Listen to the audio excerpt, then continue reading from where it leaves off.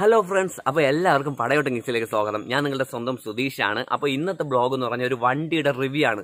അതായത് പയ്യന്മാരുടെ ഇടയിൽ തരംഗമായി കൊണ്ടിരിക്കുന്ന നമ്മളെ ബജാജിന്റെ Pulsar N S two hundred ആണ്. അപ്പോൾ ഇന്ന് നമ്മൾ റിവ്യൂ ചെയ്യാൻ പോകുന്നത്. റിവ്യൂ ചെയ്യാൻ വരുന്നത് ആരെന്ന് പറഞ്ഞു കഴിഞ്ഞാൽ നമ്മുടെ സ്വന്തം ഗിരികളിയൻ തന്നെയാണ്. അപ്പോൾ നമുക്ക് ഗിരികളീന്റെ അടുത്തേക്ക് പോകും മുന്നേ നമ്മുടെ ചാനൽ ഇതുവരെ സബ്സ്ക്രൈബ് ചെയ്യാത്തവർ ഇപ്പോൾ തന്നെ ചാനൽ സബ്സ്ക്രൈബ് ചെയ്യുക. അടുത്തുള്ള ബെൽ ബട്ടൺ കൂടെ ഒന്ന് അടിച്ച് പൊട്ടിക്കുക. എങ്കിൽ മാത്രമേ നമ്മൾ ചെയ്യുന്ന എല്ലാ വീഡിയോസും നോട്ടിഫിക്കേഷൻ നിങ്ങൾക്ക് ലഭിക്കുകയുള്ളൂ. അപ്പോൾ നമുക്ക് വീഡിയോയിലോട്ട് പോകാം.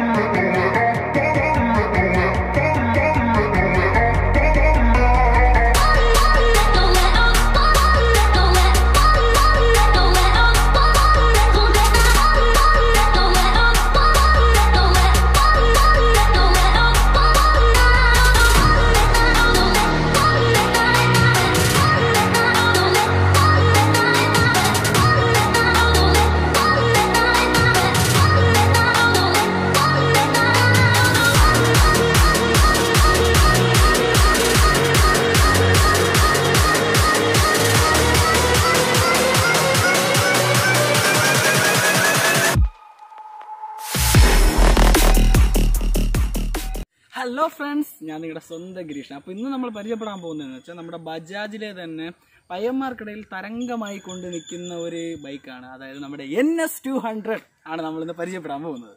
അപ്പോൾ നമുക്ക് റിവ്യൂയിലേക്ക് കിടക്കാം.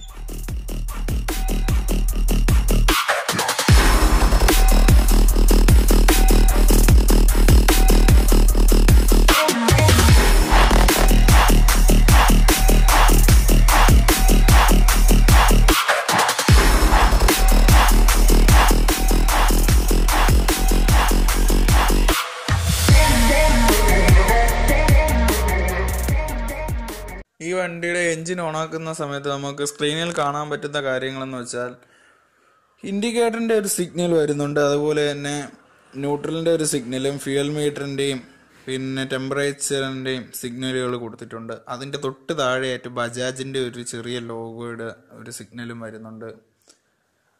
അതിന്റെ അടുത്ത വശത്തേക്ക് നോക്കുകയാണെങ്കിൽ സ്പീഡോ മീറ്ററും പിന്നെ അതിന്റെ തൊട്ട് മുകളിൽ ഒരു ടൈമും കൊടുത്തിട്ടുണ്ട്.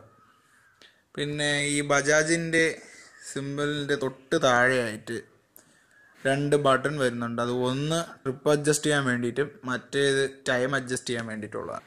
നമ്മുടെ എൻ എസ് ടു ഹൺഡ്രഡിന്റെ എൻജിനെ പറ്റി പറയുകയാണെങ്കിൽ ഈ വണ്ടിയുടെ എൻജിൻ പ്രൊഡ്യൂസ് ചെയ്യുന്നത് ഇരുപത്തി മൂന്ന് പോയിന്റ് അഞ്ച് പി എസ് പവറാണ് പിന്നെ ഇതേ സെഗ്മെന്റിൽ വരുന്ന ആർ എസ് ടു ഹൺഡ്രഡിന്റെ എൻജിനും ഇതിന്റെ എൻജിനും വെച്ച് കമ്പയർ ചെയ്യുകയാണെങ്കിൽ പവറും ടോർക്കും ആർ എസ് ടു ഹൺഡ്രഡിനാണ് കൂടുതൽ.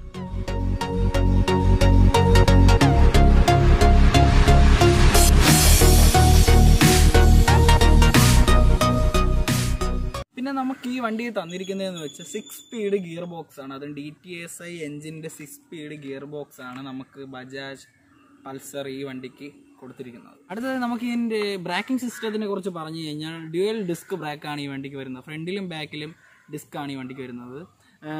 എ ബി എസ് അല്ലെങ്കിൽ കൂടെയും ഈ വണ്ടി ഒരു അറുപത് അറുപത് അല്ലെങ്കിൽ ഒരു എൺപത് കിലോമീറ്റർ സ്പീഡ് പോയി കഴിഞ്ഞാലും വണ്ടിക്ക് അത്യാവശ്യം നല്ല പെർഫോമൻസ് ഉള്ള ഒരു ഡിസ്ക് ബ്രേക്ക് തന്നെയാണ് ഫ്രണ്ടിലും ബാക്കിലും പൾസർ ഇതിന് കൊടുത്തിട്ടുള്ളത്.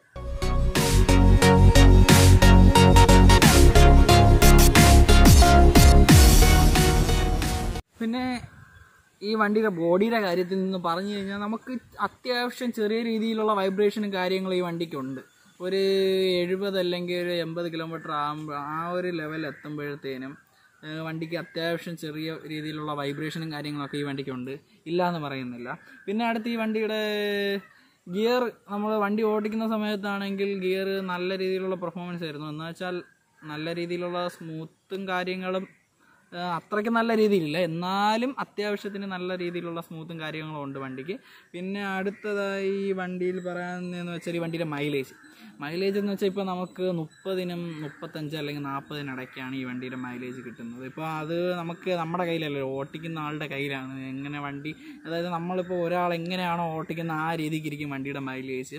ഒരു മുപ്പതോ മുപ്പത് അല്ലെങ്കിൽ ഞാൻ അതുകൊണ്ടാണ് പറഞ്ഞത് ഒരു മുപ്പതോ അല്ലെങ്കിൽ നാൽപ്പതിനകത്ത് ആണ് ഈ വണ്ടിയുടെ മൈലേജ് എന്ന് പറയുന്നത്. പിന്നെ ഈ വണ്ടിയുടെ ടയേഴ്സിനെ പറ്റി പറയുകയാണെങ്കിൽ ഈ വണ്ടിക്ക് ഫ്രണ്ടിൽ ഒരു ഹൺഡ്രഡ് സെക്ഷൻ ടയറും ബാക്കിൽ ഒരു വൺ തേർട്ടി സെക്ഷൻ ആണ് ബജാജ് പൾസർ ഈ വണ്ടിക്ക് നൽകിയിരിക്കുന്നത്.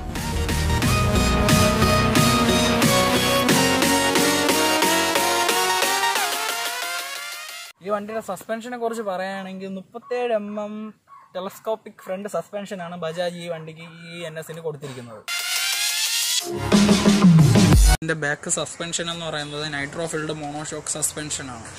അടുത്ത നമുക്ക് നമ്മുടെ ഈ എൻ എസിന്റെ ഹാൻഡിലിനെ കുറിച്ച് പറയുകയാണെങ്കിൽ ഇതിന്റെ വലത്തെ സൈഡിൽ വണ്ടിയുടെ എൻജിൻ ഓഫ് ഓണിന്റെതുമായിട്ടുള്ള ഒരു സ്വിച്ച് ഉണ്ട്. അതിന്റെ തൊട്ട് താഴെയായിട്ട് നമുക്ക് സെൽഫ് സ്റ്റാർട്ടിങ്ങിന്റെ ഒരു സ്വിച്ചും ഉണ്ട്. പിന്നെ അതുപോലെ തന്നെ നമുക്ക് ഇടത്തെ സൈഡിലോട്ട് നോക്കുകയാണെങ്കിൽ ഒരു ഫാസ്റ്റ് ലൈറ്റിന്റെ സ്വിച്ച് പിന്നെ ഡിം ആൻഡ് ബ്രൈറ്റിന്റെ ഒരു സ്വിച്ച് പിന്നെ നമുക്ക് ഇൻഡിക്കേറ്റേഴ്സിന്റെ ഒരു സ്വിച്ച് വരുന്നുണ്ട് പിന്നെ ഹോണിന്റെ സ്വിച്ചും വരുന്നുണ്ട്. ഇതൊക്കെയാണ് നമ്മുടെ ഈ വണ്ടിയുടെ ഹാൻഡിലിനെ കുറിച്ച് പറയാനുള്ളത്. അടുത്ത് നമുക്ക് ഈ വണ്ടിയുടെ എക്സോസ്റ്റിന്റെ സൗണ്ട് കേട്ടു നോക്കാം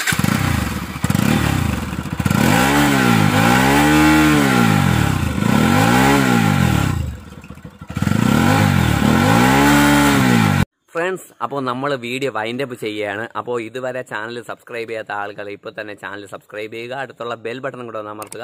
അപ്പോൾ നമ്മൾ ചെയ്യുന്ന എല്ലാ വീഡിയോസ് നോട്ടിഫിക്കേഷൻ നിങ്ങൾക്ക് ലഭിക്കുന്നതാണ്. നമുക്കിപ്പം വാച്ച് ടൈമൊക്കെ കുറവാണ്. നമ്മൾ പുതുതായിട്ട് തുടങ്ങിയ യൂട്യൂബ് ചാനലാണ് അപ്പോൾ നമുക്ക് വാച്ച് ടൈമും സബ്സ്ക്രൈബൊക്കെ കുറവാണ്. അപ്പോൾ എല്ലാ ഫ്രണ്ട്സും നല്ല കട്ടയ്ക്ക് തന്നെ നമ്മളെ സപ്പോർട്ട് ചെയ്യുക. അപ്പോൾ മാക്സിമം കൂട്ടുകാർക്കെല്ലാം ഷെയർ ചെയ്ത് കൊടുക്കുക. അപ്പോൾ അവരടുത്തും വീഡിയോ മുഴുവനായിട്ടും കണ്ട് സപ്പോർട്ട് ചെയ്യാൻ പറയണം. ചാനലൊക്കെ സബ്സ്ക്രൈബ് ചെയ്യാൻ പറയണം. അപ്പോൾ എന്തായാലും എല്ലാവരും കട്ടക്കി നമ്മളെ കട്ടക്കി തന്നെ സപ്പോർട്ട് ചെയ്യുക. അപ്പോൾ നമുക്കിനി അടുത്ത വീഡിയോയിൽ കാണാം. Signing out